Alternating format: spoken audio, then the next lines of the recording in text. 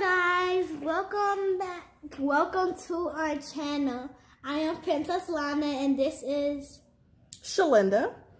And welcome to Nursing That Budget. Welcome to our channel. Welcome to our channel.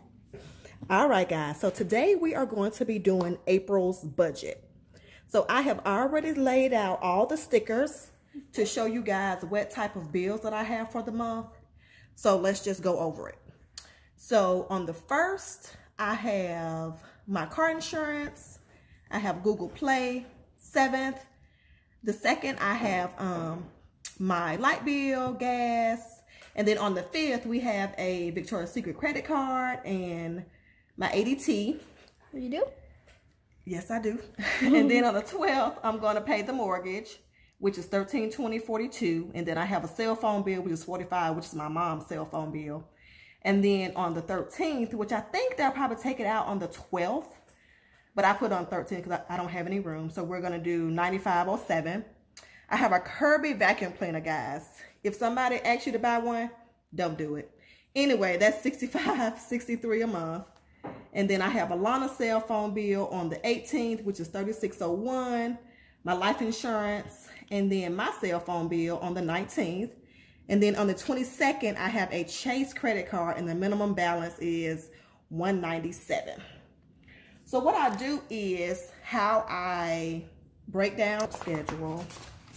So what I do is I break down my paychecks by, I, I break down my budget by paychecks. So like on my first paycheck, you know, I'll pay the bills like I get paid on March 29th. So March 29th, well, where's, where's March 29th? It's going to be here. Because March when I get paid on March 29th, then that has, right, that has to cover all these bills. Because, well, these bills here, because I don't get paid again until the 12th.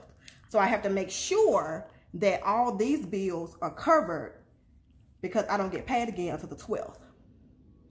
Oh. Ah. You're so silly.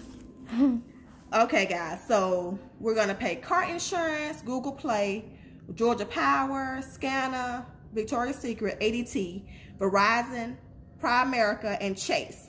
I'm going to pay these larger bills at the um, beginning of the month because when I get paid on the 12th, it's probably not going to be enough to cover all the rest of this. So what I'm going to do is I am going to take the money from here because I'll have some leftover to pay for the larger bills towards the end of the month also.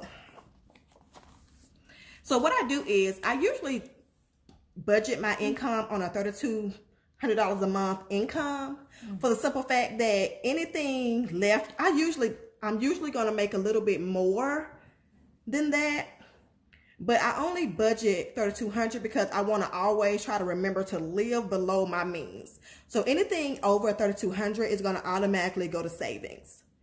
So for check one, we're going to budget $1,600. I do have some extra income, like I work a part-time job and that's like what I will get monthly from there. Then I have some miscellaneous income of 350, but I usually, I try not to budget. I try not to budget with this income but as you'll see over here, I am going to have to budget with this with this income just a little bit because of this Victoria's Secret bill that I have here. I have a question. Okay. Why does it say snowball right here? It says snowball right there because I'm going to pay. Okay, so Alana wants to know why it says snowball at the end here. So it says snowball because I am going, I, I'm trying to follow the Dave Ramsey um, style of budgeting where you snowball all of your debts. And I have like two, three debts that I'm trying to pay off. So whatever is left from this from my income before I get to this after I pay everything, this is what's left.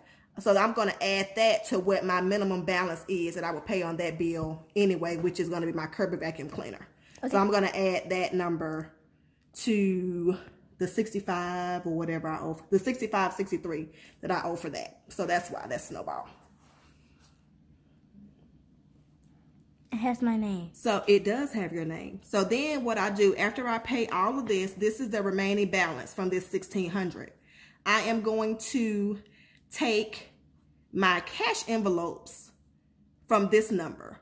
So like I do groceries, 240, gas, 120, personal, which is like my personal money. And then Alana has um, 180 because Alana gets her hair done every two weeks and it's like 60 bucks. And then I give her an allowance of $20 a month. So that's why she gets 180.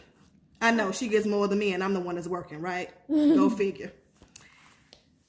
So after all that is done, I am, but what I'm going to do is I'm not going to take this, all this equals 620. So I'm not going to take this full amount out at the same time. I'm going to split it up.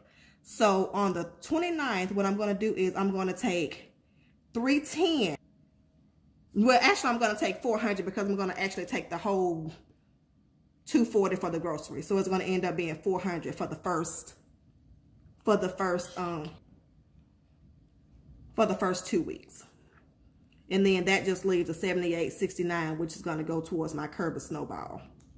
Hmm. So then when I get paid on April 2nd, I mean, I'm sorry, April 12th, I'm going to budget 1600 It may be more. So I'm going to pay my mortgage, my Kirby vacuum cleaner, Alana cell phone, my mama cell phone, and then SCANA, which is my gas bill. Hmm. And then this is what I have remaining. So what I'll do with that, I may either put that towards my snowball also, or I may just throw it into savings. But what I'm to do is from this seven, from this 788,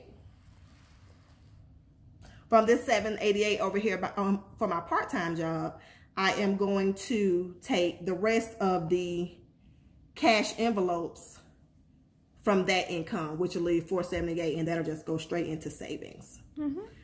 So my budgeted income is going to be 4338, which also adds in my part-time and my miscellaneous. And then I'll come back and I'll put the actual. So I hope this makes sense. If anybody has any questions, feel free to leave us a comment. And that is it for Nursing That Budget. And we'll see you guys in the next video. Bye. Don't forget to like, comment, and subscribe. Push that like button. Bye.